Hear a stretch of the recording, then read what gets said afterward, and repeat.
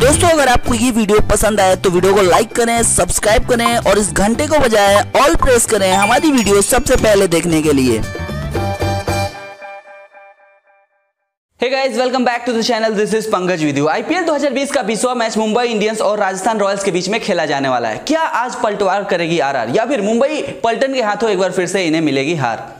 ढूंढेंगे इस सवाल का जवाब आप बने रहिए इस वीडियो में हमारे साथ, क्योंकि हम करने वाले हैं इस मैच की बात। अगर आप हमारे साथ मिलकर आईपीएल का लुत्फ उठाना चाहते हैं तो चैनल को सब्सक्राइब करके बेल आइकन को प्रेस कर लें। सबसे पहले बात करते हैं कि क्या है पिच का हाल। तो ये जो मैच है, Sheikh Zayed Stadium Abu Dhabi में खेला जाने वाला है। अब तक यहाँ इस आईपीएल के छह मैच खेले जा चुके हैं, जिसमें से तीन बार पहले बैटिंग करने वाली टीम जीती है, वहीं तीन बार बाद में बैटिंग करने वाली टीम जीती है। इन छह मैचों में उनचालीस विकेट, यानी कि थर्टी विकेट तेज गेंदबाजों को मिले हैं, वहीं तीस विकेट स्पिनरों को भी मिले हैं। इस विकेट पर बैटिंग करना उतना आसान नहीं है और नहीं होने वाला है तो आपको 160 से 170 के आसपास का एवरेज स्कोर दिखाई दे सकता है। अब बात करते हैं दोनों टीमों की पॉसिबल प्लेइंग इलेवन की और इनके फॉर्म की। सबसे पहले बात करते हैं मुंबई इंडियंस की। तो अपने पाँच मैचों में से तीन मैच जीतकर सारा मामला पलट चुकी मुंबई इंडियंस के लिए। यह मैच आसान नहीं होने वाला है। जी हाँ, बेशक मुंबई इंडियंस की टीम पूरी तरीके से फॉर्म में है, बहुत ही अच्छे फॉर्म में है, लेकिन मैं आपको एक कमाल की बात बता दूँ कि राजस्थान रॉयल्स के खिलाफ मुंबई इंडियंस का दबदबा थोड़ा फीका सा रहता है। जी हाँ आईपीएल के लगभग लगभग सारी टीमों के खिलाफ अच्छा प्रदर्शन करने वाली सभी टीमों को धूल चटाने वाली मुंबई इंडियंस राजस्थान रॉयल्स के हाथों ज़्यादातर मौकों पर मात खा जाती है। मुंबई पलटन अपने विजय पलटन के साथ इस मैच में उतर सकती है, क्योंकि इस वक्त मुंबई की टीम में कोई भी कमी दिखाई नहीं दे रही है। टीम बहुत ही अच्छे फॉर्म में है। बस एक डीकॉक अच्छा नॉक नहीं लगा रहे थे, लेकिन पिछले मैच में उन्होंने भी सड़सठ रनों का एक शानदार नॉक खेलकर अपनी जगह टीम में पक्की कर ली। उनके अलावा पोलार्ड भी अपना पावर दिखा रहे हैं, हिटमैन भी हिट लगा रहे हैं। इस मैच में भी आपको पोलार्ड के पावर के साथ साथ हिटमैन का हिटिंग अंदाज देखने को मिल सकता है। वहीं पांड्या ब्रदर्स भी आरआर के गेंदबाजों की अच्छी खासी खबर ले सकते हैं। गेंदबाजी में तो भैया बुम बुम बुमराह करना शुरू कर चुके हैं। सभी बल्लेबाजों को गुमराह। जी हाँ एसआरएच के खिलाफ बेशक शुरू के ओवरों में बुमराह की जमकर पिटाई हुई थी, लेकिन डेथ ओवरों में उन्होंने ज़बरदस्त वापसी की और पूरे मैच को ही पलट के रख दिया। इस मैच में भी बुमराह राजस्थान के बल्लेबाजों को गुमराह कर सकते हैं। वहीं इनका साथ देंगे पोलार्ड। जी हाँ चौकी मत। पोलार्ड आरआर के खिलाफ अब तक मुंबई की तरफ़ से सर्वाधिक 11 विकेट ले चुके हैं। बात करते हैं राजस्थान के रॉयल्स की। तो अपने पहले दो मैचों में जिस तरीके से राजस्थान रॉयल्स ने बड़ी बड़ी टीमों के ऊपर हल्ला बोला, उसे देखकर तो यही लगा कि भैया ये तो सच में रॉयल्स हैं।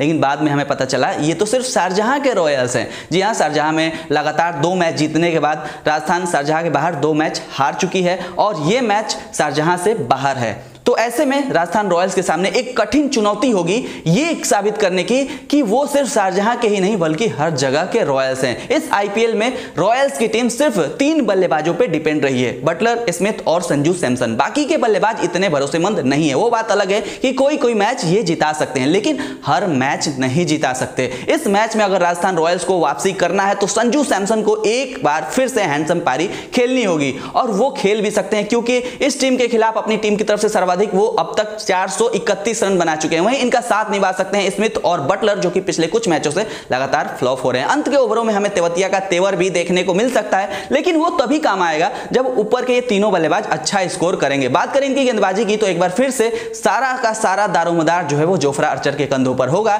जैसा कि जयदेव उनाटकत का दस की इकोनॉमी से रन खर्च करना लगभग लगभग हर मैच में तय होता है, और इस मैच में भी आपको वो दस की इकोनॉमी से रन खर्च करते हुए दिखाई दे सकते हैं। अब बात करते हैं fantasy power 11 presents head to head battles की। तो इन दोनों टीमों के बीच अब तक 23 हेड टू हेड मुकाबले खेले जा चुके हैं, जिनमें से 11 बार राजस्थान ने हल्ला बोला है। वहीं 11 बार मुंबई पल्टर्स ने इनकी दुनिया हिलाई है। पिछले साल इन दोनों टीमों के बीच दो मैच खेले गए थे और दोनों ही बार राजस्थान रॉयल्स को जीत मिली थी। आपको एक कमाल की बात बता दूँ कि पिछले दो सालों से राजस्थान से मुंबई इंडियंस ने एक भी मैच नहीं जीता है। लगातार मुंबई इंडियंस हारती आ रही राजस्थान रॉयल्स से। तो ये एक बहुत ही बड़ा एडवांटेज राजस्थान रॉयल्स के साथ है। इसका असर हमें इस मैच में देखने को मिल सकता है। अब बात करते हैं fantasy power 11 presents X factors की। तो मुंबई पल्टन्स की तरफ़ से हिटमैन पलटवार कर सकते हैं और हिटमैन का हिटिंग अंदाज हमें देखने को मिल सकता है, जो कि पिछले मैच में देखने को नहीं मिलेगा। वहीं रॉयल्स की तरफ़ से संजू सैमसन एक बार फिर से आपको हैंडसम पारी खेलते हुए दिखाई दे सकते हैं। जी हाँ, आपको बता दूँ कि मुंबई के खिलाफ इन्होंने अब तक 431 रन बना रखे हैं। आपको बता दूँ कि ये दोनों खिलाड़ी मेरे फैंटेसी पावर 11 की टीम के कैप्टन एंड वाइस कैप्टन भी हैं। आप भी अपनी टीम फैंटेसी पावर 11 पर बनाकर